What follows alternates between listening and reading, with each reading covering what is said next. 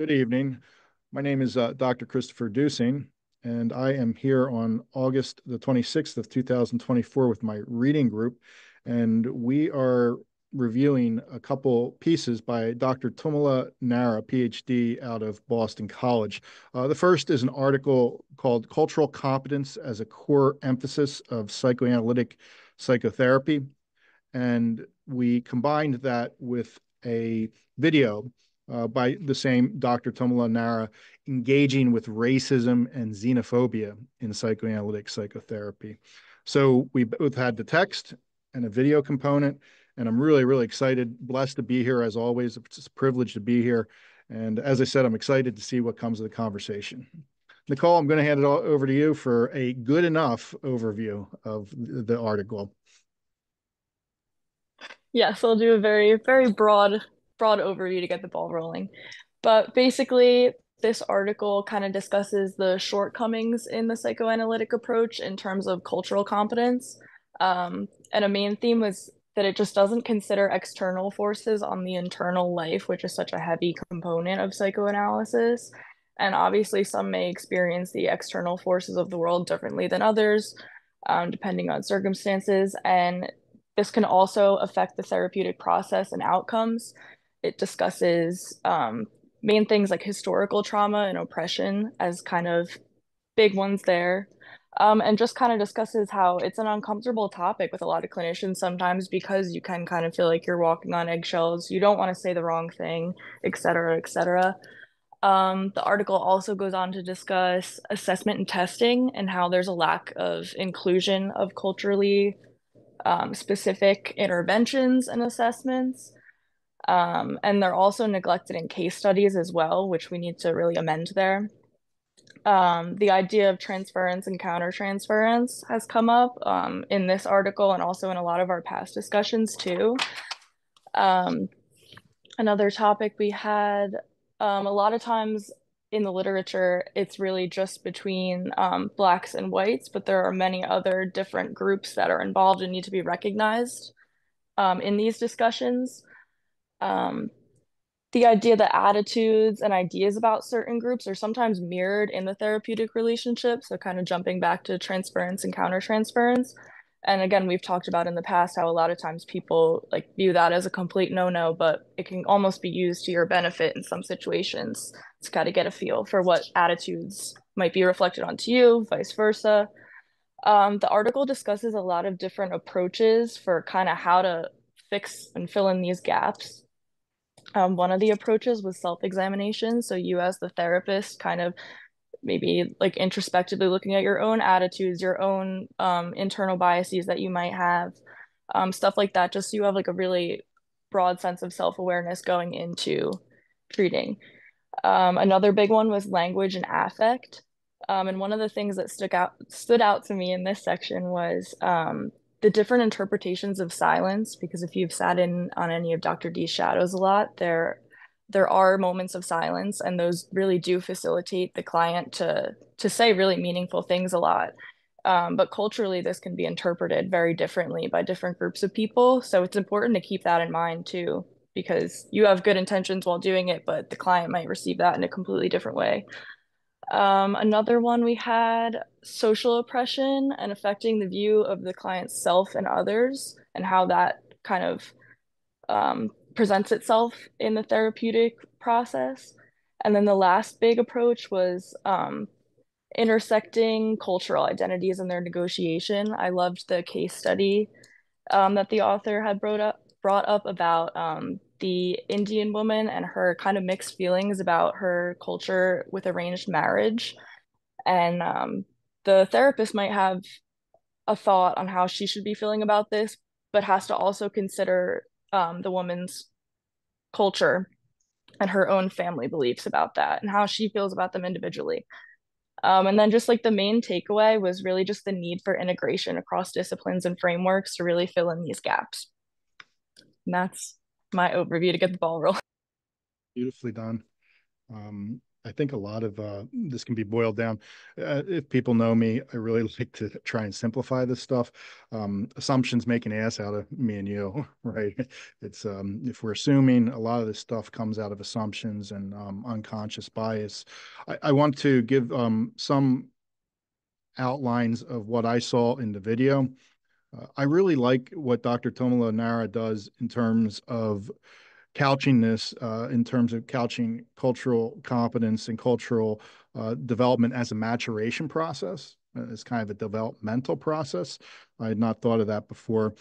And uh, he also talks about depositing, um, how children of of immigrants or other cultures uh, oftentimes um, have to they get deposited they get these uh, biases deposited within them and that can go unmentalized um, if, if we're not if we don't bring that to consciousness and that can really affect things uh, both in the minority and the ma majority culture uh, she also highlighted um, oftentimes the first generation from another country and the second generation are very, very different.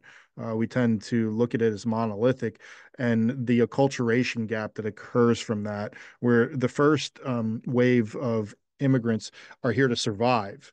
Uh, versus the second uh, generation, which has the pressure to thrive.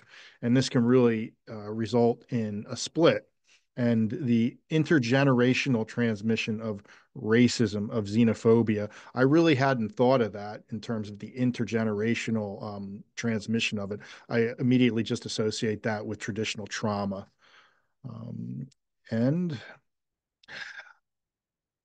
also highlighting, at least in the United States, we are in some pretty uh, what's the right word many words could apply uh, some some dark and confused times here and dr Tummala-Narra did a great job of um, highlighting the rise of trumpism and over the past eight years uh, how the divide perhaps uh, between different cultures has uh, really widened and also the ability of people to speak up and speak anonymously uh, in terms of discrimination uh, racial slurs and things like that has become a much more acceptable thing. In terms of this depositing thing too i'll circle back this is my thought I think depositing can occur on so, uh, so much more of an intense level with the internet and technology uh, we can get deposited with misinformation or disinformation. And if that lines up with the messages that we're getting from our parental or, or our authority uh, figures, uh, then we can see how that can become identity. That can really calcify into identity. So uh, I loved I love the article. It goes uh, it goes deep. It goes to an uncomfortable space, and uh, made me take a look at myself and reminded myself of my MSW studies too. I had to take a year of uh, racism, American racism classes, and one of the first things the instructor said is, "We're all racist." Well, thank you so much, Nicole and Dr. Deussing, for opening up such amazing discussion.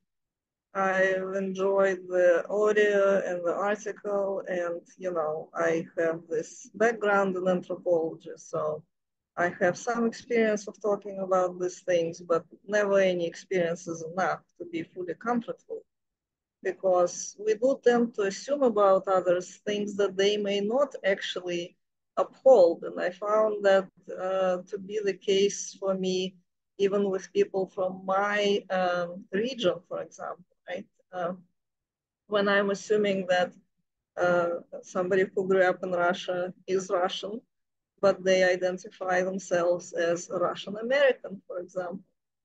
Or they, uh, in fact, have the family from Kazakhstan, uh, which is a completely different thing, right? They have the indigenous uh, roots, for instance, right? So I thought that um, there were many things that were worth mentioning, but, but going off of what you said, Dr. Deussing, in connection to on Dr. Usha Tummala-Narra uh, video uh, about racism and xenophobia. She, she made great point, I think, about um, how uh, for us, uh, xenophobia, encountering the other is somehow connected to our primary attachment figures. When we begin identifying people who are ours versus those who are not ours, uh, and how this can be so deep that we can actually not perceive the members of these other groups, whether it's based, based on race or ethnicity or some other characteristics as somebody who are like us, like we're virtually stripping them of uh, humanity, we're dehumanizing them. And that's of course very prominent right now in my communities, which are Russian, and also partially Ukrainian, because there is a lot of dehumanization going on in connection to the war, a complex ongoing trauma of wars unfolding. Is that how I perceive it? And I think uh, it is totally mind blowing how people can actually strip of humanity the members of the group of others um, based on the ethnicity and citizenship something that is completely uh, contrary to all the expectations and all our knowledge when we are not sympathizing, for example, with the suffering of the children of other group, just because this is the other group's children and we are actually taking joy, you know, a lot of people online express a lot of joy at the suffering of the others. It is as if we do not share the humanity. So, so I thought it was profound. But returning to what you said, Dr. Deussing, about the differences of the generations, like between the generations of the first and second generation, how big that can be.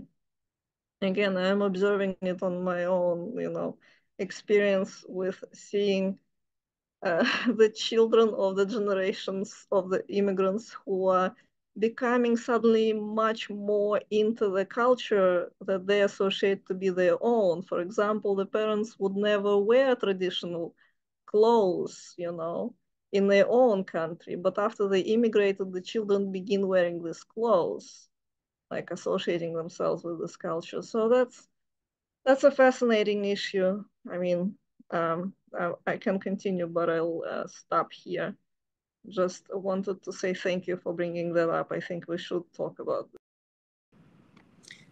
Um, if I could say something. Um, so when reading the article about the female immigrant client and how like the therapist has like a different upbringing than her, I feel like a way to not make assumptions or stereotypes is better to like have like a comprehensive like background on the client.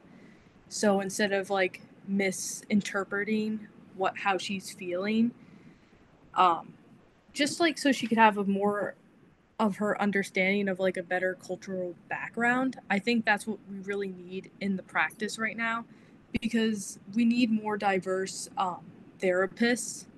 I think that also brings more of like a better discussion um, with the people that you know have similar cultural um, backgrounds to the therapists, it might be easier for them to understand one another. I think that's very important. If I could just add on to what Hannah said, and Dr. Deussing said this as well, is just to make sure that you're not assuming anything about a client and always asking, um, oh, can you tell me a little bit more about that? Or what's your perspective of this? Um, something that came up for me in this article was like an individualist versus a collectivist culture might um, perceive things differently, especially in talk therapy. Um, our westernized version of talk therapy, we focus a lot on the client and what their internal feelings are about themselves. Um, but this could be a, like a super uncomfortable thing for some people because they've grown up thinking about the we and not the I.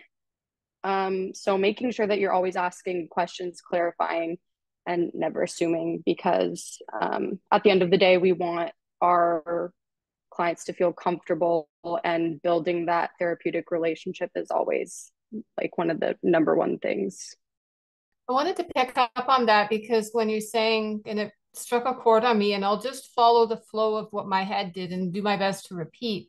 So, what you had said, Taylor, was that you know, we have to really work hard at not making assumptions. And I thought back to my younger self, I'm 60. So I thought back to my younger self and and how I grew up in this ultimate paradox. I have to put that part in where I made a choice very clearly between my grandfather, who was very kind and was not bigoted and was himself indigenous and uh, European, and my grandmother, who was the worst bigot and also very mean to me. So I made, I it was one of those things where I'm never going to do that. And I got to a certain point as a therapist and a person, a community developer, and it was exhausting be, and, and the thing is, I'm convinced now that I just allow myself to make the mistakes. And sometimes, yes, I'm human. I've made an assumption. Let's work through it because I am less likely to get the counter transferences and the feedbacks as now they're reacting to my super performance of perfection that nobody can, right? And so it just became worse. So I don't do that anymore. Um, but I think what it brings home is the what most struck me, and hence a little story about myself, but certainly not to overshadow the um, the presenters. I'm not really good at names. Is the richness, and I always think of Vasilina as a cultural ethnographer whenever I'm reading all of these great readings and how much rich ethnographic and detailed personal story and narrative there is that comes out. And in terms of her own stories, as well as the contrasting stories that she gave about the different uh, experiences that she used to accentuate the different points of how different people process being in different permutations and combinations of the diversities and the contextualizing in place of diversity and so on. And it then poured it over into the article, which I li- listened to second. So I had listened to hers first. And she then did such an excellent job. And I've written in this area, and it was just so much better than me. And it was just such an excellent job of speaking to the issues and really drawing those parallels.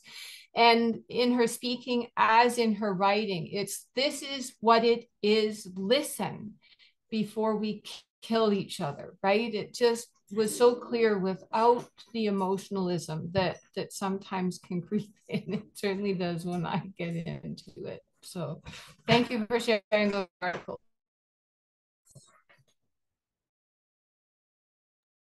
I did want to highlight the, the perfectionism uh, on page uh, 277. So, uh, culturally competent therapists aim to engage with several tasks, uh, develop your self awareness, develop general knowledge about multicultural issues and the impact of various cultural group membership on clients, develop a sense of multicultural self efficacy, or the therapist's sense of confidence in delivering culturally competent care, understand unique cultural factors, develop an effective counseling working alliance in which mutuality and collaboration are emphasized. And lastly, like that's not enough, right? Um, develop intervention skills in working with culturally diverse clients. I just wanted to highlight that's a lot to ask of a therapist. So I think that words like culturally sensitive, it used to be cultural sensitivity, like cultural sensitivity training. I was curious about that shift too. Like when did that shift to cultural competence? Because uh, as um, the article states, that denotes a, a, degree of technical proficiency, right? You're either competent or you're incompetent.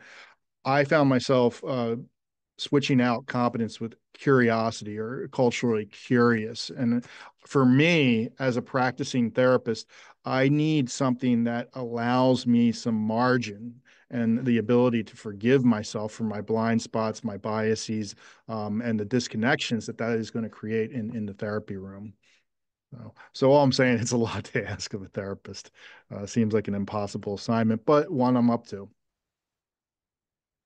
I'm going to draw that out, Chris, because what you just said really struck a chord. As I've mentioned before, I'm a multicultural counselor with the telehealth work that I do. And you know what? I've discovered because I, I'm an ethnographer and phenomenologist, I learn from my clients. And, and like you just said, we also have, um, as clinicians, responsibilities. And sometimes there's parts of culture and educated clients will tell you there are parts of my culture that are my problem, right?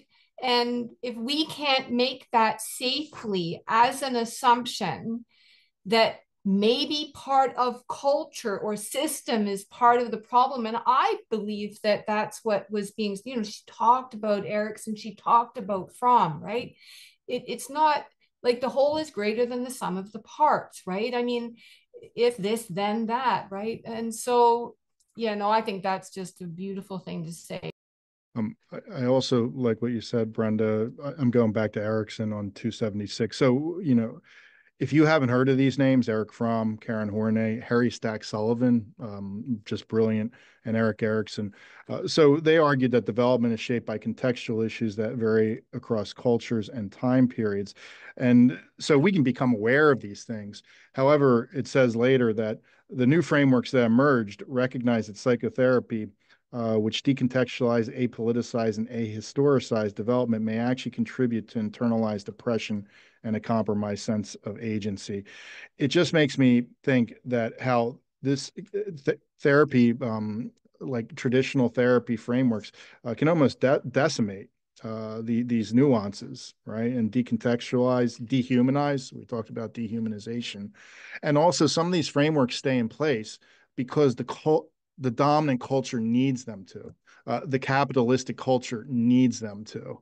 Um, so the theory and the intent to change may be there, and there may be greater forces at work that inhibit change and shifts.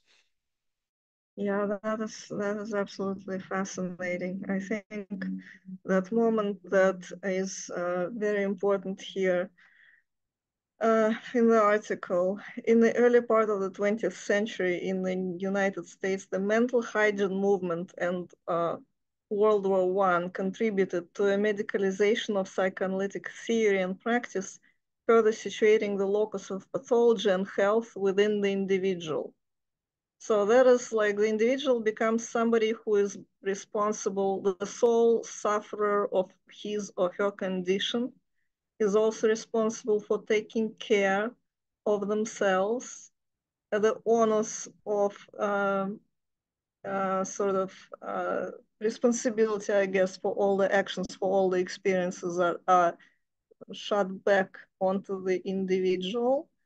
And uh, I think that's where all the system of oppressions, all the various systems of racial discriminations, and so on and so on, they just fall through. They're not in the picture. And the Freudian entire idea, I guess, of this uh, individual that contains the world and has ego and has uh, subconscious and has all the structures as, as the structure that that can be imposed upon all other people of other different cultures and it became dominant in psychoanalysis. I think that is something that prompts this movement of multiculturalism in counseling and so on. But I'm also here to say that at least in the contemporary master's programs, they do have, at least in my program, we do have a, a whole bunch of, you know, chapters and the course about multicultural competencies nowadays. And, and but as an anthropologist reading them i find that some of these things that are presented as competences i know they will be criticized by my classmates in my phd program for being way too flattening way too grounded in some stereotyping you know this whole idea that oh asians behave in this way and these cultures are collectivist and therefore they're not like us individualist countries, uh, cultures. I should say that some of this cultural talk uh, may feel very alienating and othering to people, you know. Uh, for example, in the video, uh, the therapist was saying that she would ask, her client to talk to her about the ethnicity. And that is totally reasonable, makes a lot of sense. Uh, I'm confident she's doing it in the most harmonious way, in the most healing way possible. But I also know that if I was asked in the first counseling session as a client what my ethnicity is, uh, that would feel very othering to me because I might even not want to bring that up. You know, some people may assume that, oh, well, I'm Americanized enough at this point to even not talk about it. Uh, that would feel to me a little like, you know, buying stuff somewhere and people would ask, oh, and where is this accent coming from? And it's like, you're not there to talk about the story of your life. You're just there to buy stuff and go go on with the with the day, you know. So I don't know what what to kind of offer. I guess there is a tension there. I think that's a really good point. And um, last semester or two semesters ago, I took my multicultural competency course um, in my master's work. And something that was really highlighted for us was the therapeutic alliance and building that trust because these are really difficult and awkward sometimes conversations to have. And that relationship and openness and honesty between the clinician and the client kind of allows for those conversations to go more smoothly and allows for apologies or um, clarifications to be asked for in a way that isn't going to hopefully make anyone uncomfortable. And if that uncomfortableness does arise, being able to broach that topic and be like, I am a human and I really want to learn more about this in a way that um, that I can try to not let this happen again. Um, yeah, so I think that the therapeutic relationship, I know I already said that in broaching topics like this is like a really, really important thing to emphasize.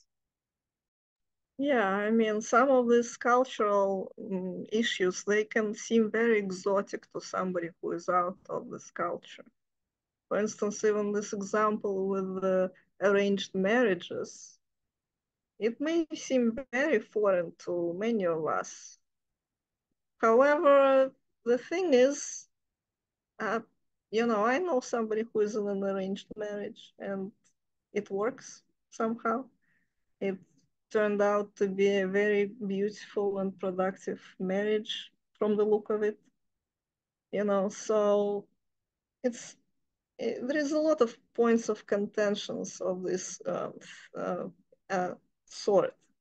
But I think one other point that the article is making that is very interesting is the potential convergence and divergence of the aspects of minoritarity and uh, majoritarity within the same identity because uh, it's very easy for us to know where we are a minority because we get reminded about it all the time by others.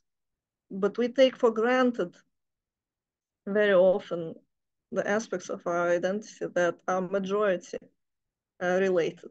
Let's say, for example, we are heterosexual. So that's what we are taking for granted. And then it becomes, you know, um, sort of something that uh, I know in Russian culture, for example, you know, it's not something that Americans would say right now, but uh, publicly at least. But I know there are sentiments like, oh, why just why can't they just do all that but like hiding while hiding or something like that right? So there is a lot of uh, st stigmatization and pathologization of these relationships. And we do not even notice how much of a majority aspects of our personality how much they are uh, accepted by society and how comfortable we are with them but as soon as you're a minority in some aspect, you will notice and you will be able to speak about oppression and everything like that. And for some people, there is a lot of aspects of minority identity that come together and they do intersect. I think uh, Spivak was calling it the different axes of oppression. I think there's a lot about the fear of the unknown like we're scared to talk about things that we don't like really understand fully And when we have clients that are of different cultures than us, we get like, you know, intimidated to talk about it because we don't want to say the wrong things. But at the same time, we're we're afraid to ask questions because we think that some of the questions might be offensive.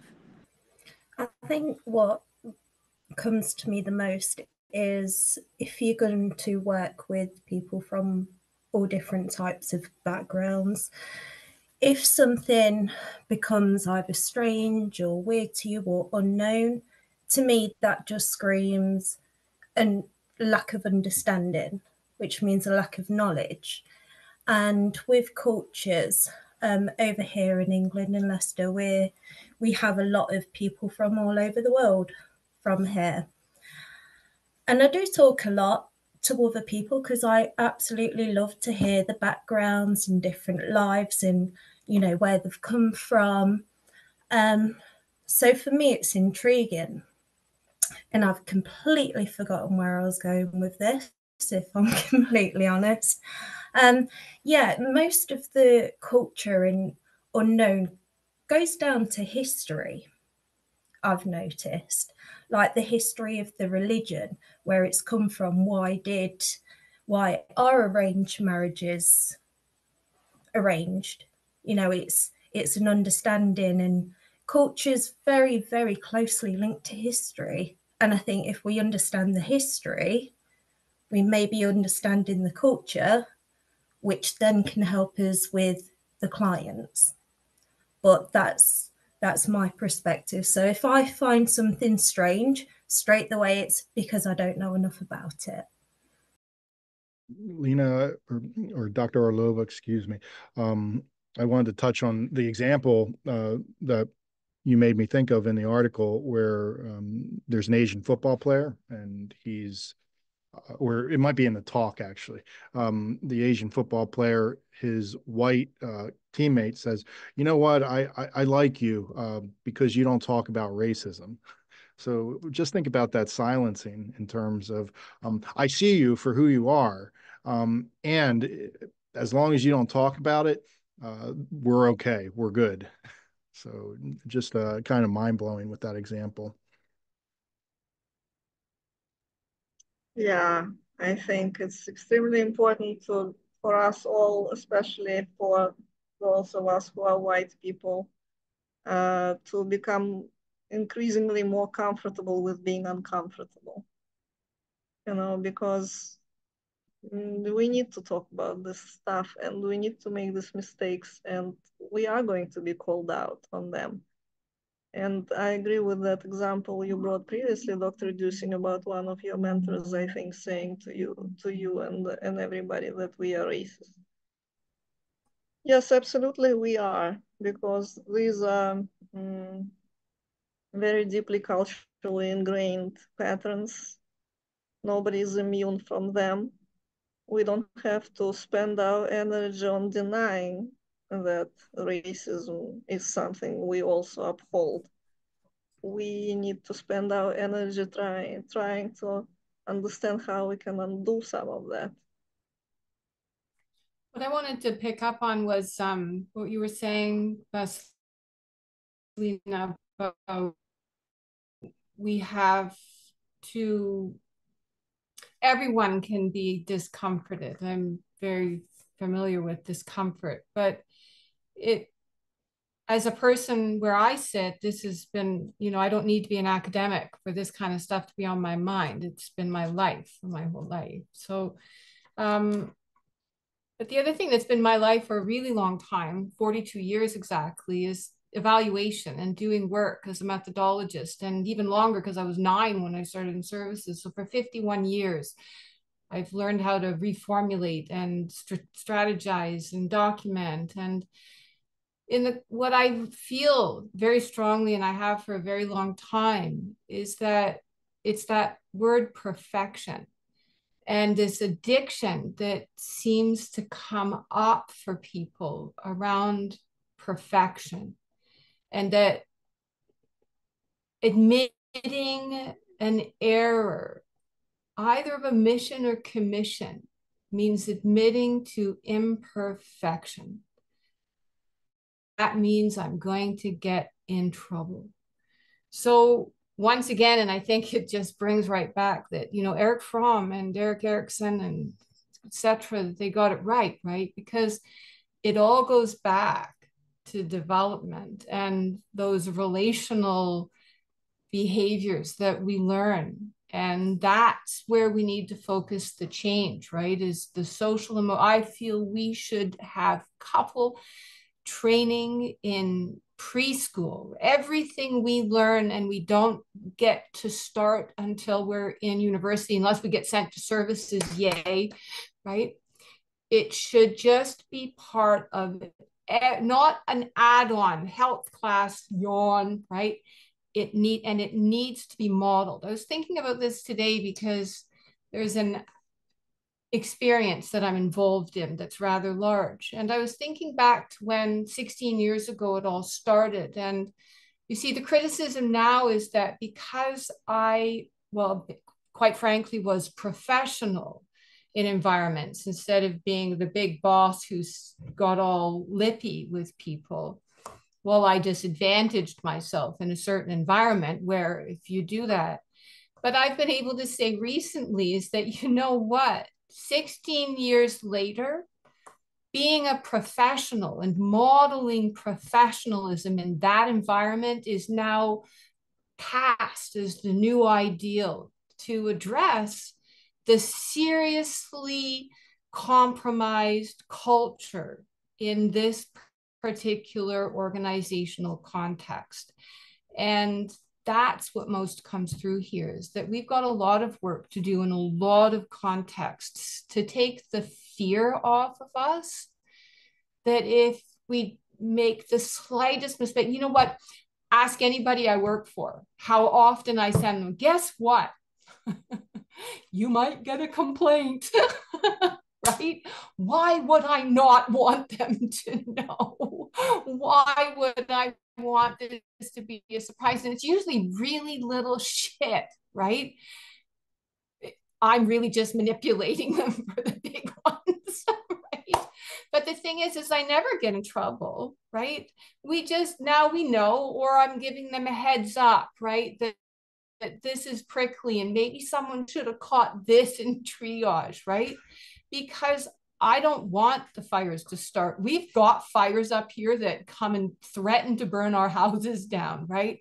So I don't want to start fires. And I think that what we all need, I think, to talk about at some point, um, Dr. Deussing, is that something that can, you know what she said, advocacy also, right? And this is maybe what's coming out naturally is that she said for too long, psychoanalysis and science has said advocacy has nothing to do with it. Well, I was raised by those tutored by Charles Wright Mills and Paul Lazarsfeld, and I say wrong, wrong. We have to make advocacy part of what we do because, like I said, some people actually have to live on the streets. They live rough, and they don't have anything and they're really smart when you get to talk to them and if you heard their life stories as most people haven't then we would make changes in this whole litigiousness and um, fear of eggshells that we end up wading through because we're all afraid of getting in trouble because that would mean we're bad kids or something. I'm a bad kid. Admit it. Thanks. Me too. Um, just a time check. We're about eight minutes. Uh, there's a couple things. Oh, Victoria, I'm forgetting them. Oh, the Olympics, right? So, um, in the United States, it's really interesting to experience the Olympics. Um, all you hear is USA, USA, USA, the medal count. And also hear a lot of people, and also in the political environment, and this will ruffle people's feathers, and I'm totally aware of it. Um, people will always say in America, we are the greatest country in the world. Um, I really think that we need to back away from that hierarchical standpoint because, first off, that's ridiculous. Um, it's like uh, to assume we're the greatest country because we have the most medals and we have the greatest military and we're the largest, blah, blah, blah. Uh, I think a more nuanced view would be, uh, in some ways, America is the best country in the world and the worst country in the world. In some ways, France, especially with food, uh, is the best country in the world and has, has so we need to look in terms of different cultures, not in terms of good or bad or best or worst. And I think as Americans, maybe take a little ego out of it. Maybe we don't need to chant USA, USA so much. Um, I don't see other countries, and I was struck by this. I don't see other countries chanting their name, and I'm like, what is that about? Um, I had another thought, but it got lost in in my Olympics uh, rant there. When we say like USA, USA, it gives us more or less a fixed mindset. Like we can't grow over time. Like we should be able to say like oh we could work on this and that and all the things. But if we constantly say well we're the best like you know we're not the best. Like that means we can't improve basically. Oh i remember now. Um so of course i'm going to come to the defense of psychoanalysis and psychodynamicism here um DBT applies here. Uh, DBT uh, is pretty much an acultural um, treatment. It's pretty much a, a, protocolized, manualized treatment.